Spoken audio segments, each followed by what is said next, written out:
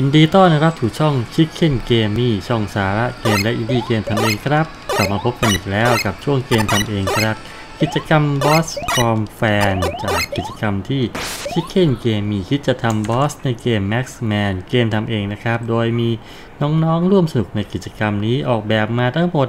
6 ตัวตอนนี้ทำเสร็จมาได้ 3 ตัวครับ โดยเริ่มจากบอสที่ส่งก่อนไล่มาเรื่อยๆ จนถึงคนสุดท้ายนะครับ อันดับที่เหลือขอให้รอนิดนึงนะครับ ถ้าเสร็จแล้ว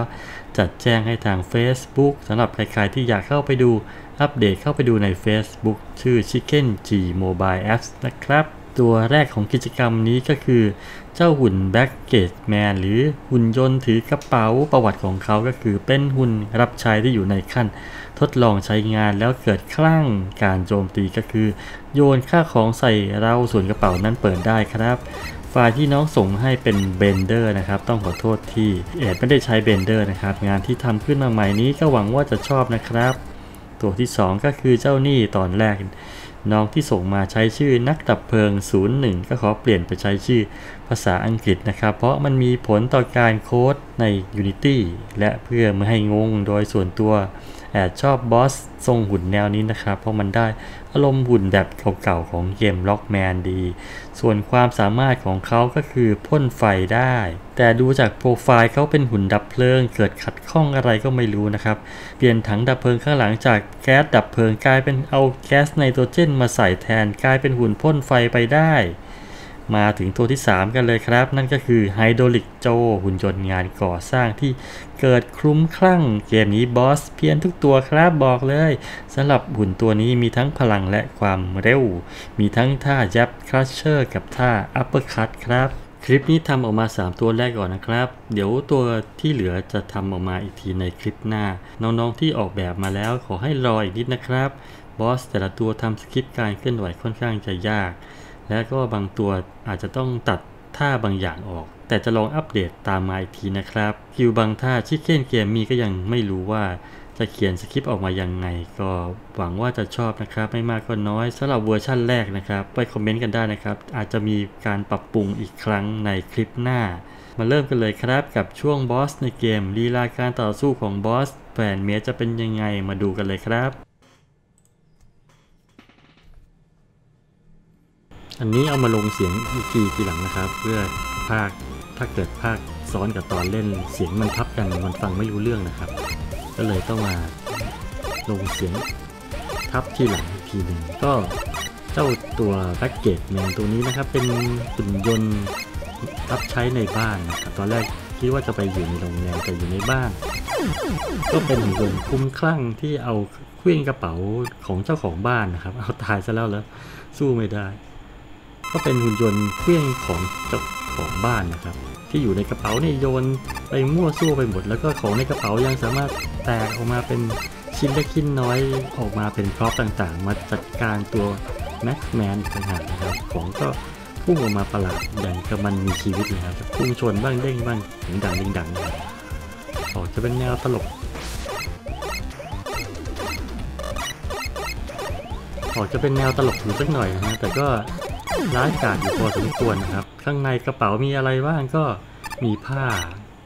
มีบาสลูกบาสมี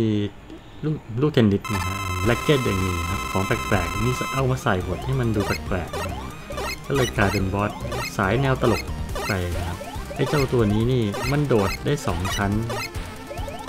เราจะอาจจะจับทางมันได้ค่อนข้างจะยากเลยนะไม่รู้มันจะโดดลงพื้นเมื่อไหร่จะโดดเสร็จแล้วดันโดดเบิ้ลเข้าไปอีกอีกชั้นหนึ่ง บางทีจับทางได้ค่อนข้างจะยากครับ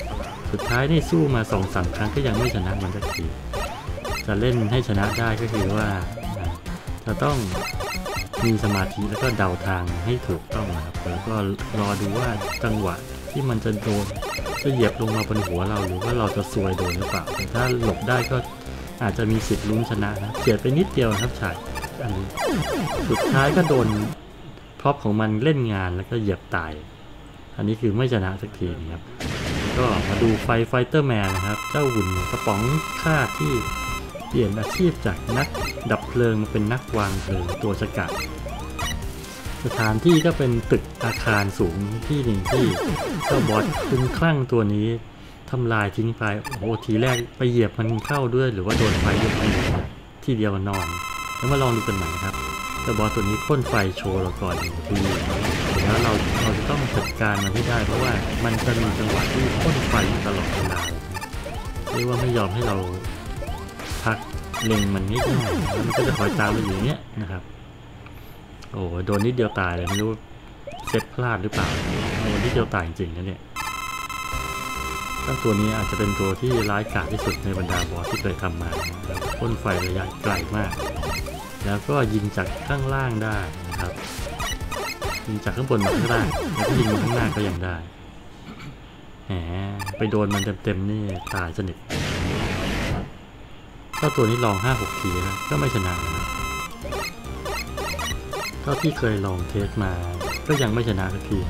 สงสัยว่าอาจจะต้องปรับลดค่าแรงประทะลงนิดนึง ชนสองทีนี่เกือบตายนะมันพลังลดไปตั้ง 50%เพราะงั้นสงสัยอาจจะต้องลด power ลงนิดหนึ่งนะชนแรงเกินไปมาลองดูอีกทีนึงพุ่งมาแล้วนะครับพ่นไฟขู่มันจะกระโดดแบบแรนดอมนะครับ ผมก็ไม่รู้ว่ามันจะกระโดดเท่าไหร่ตอนไหนนะหรือว่าเป็นการสุ่มที่ร้ายกว่าเกมล็อกแมนจริงๆที่ที่ มันจะมีจังหวะที่เราจะรู้ว่ามันจะโดดเท่าไหร่แต่อันนี้เราไม่รู้ว่ามันจะโดดตอนไหนนะเรียกว่าถ้าโดดมาเมื่อไหร่นี่ซวยทั้งนั้นซวยอย่างเดียวครับ มาดู Hydraulic Joe เลยกันครับ Fire Fighter Man ร้ายเกินไป อาจจะต้องไปปรับลดทีหลัง เจ้าตัวนี้นะครับ เป็นหุ่นก่อสร้างนะครับ ตอนนี้มันมาป่วนอยู่แถวโกดังเก็บของใน warehouse ที่หนึ่งและที่ตรงนี้ก็จะเป็นสถานที่ทำลายกล่องหรือ ข้าวของของโรงงานนะครับ เอาไปทำลายทิ้ง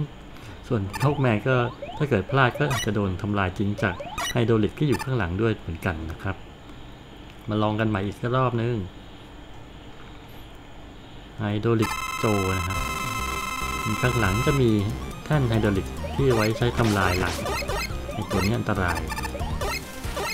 วิธีการก็คือเราต้องไม่โดนไฮโดรลิกข้างหลังฟาดเอาแล้วก็พยายาม หลบไอ้เจ้าตัว Hydraulic Joe ที่เอาแต่พุ่งเข้ามาชนนะครับ แล้วก็กดปล่อยหมัด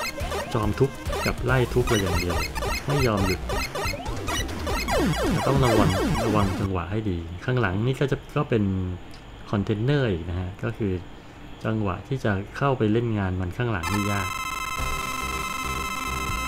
ต้องพลิ้วนิดหนึ่ง มาอีกแล้วรอบนี้ จะชนะไหมเดี๋ยวดูนะ โอ้ยโดน ทุบเต็มๆ ถ้ากระโดดไม่ดีก็จะโดนหมัดไฮดรอลิกทุบใส่หน้าหรือไม่ก็พลาดไปพุ่งชนถ้าเกิดลังมันเยอะเกินไป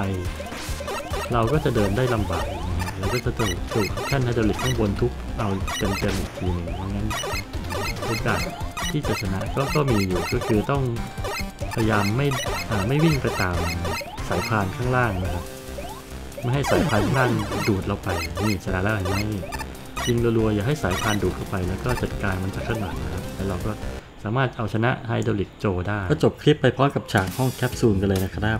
สรุปก็ชนะไปได้ 1 ตัวอีก 2 ตัวลองดู 5-6 รอบก็ยังแพ้อยู่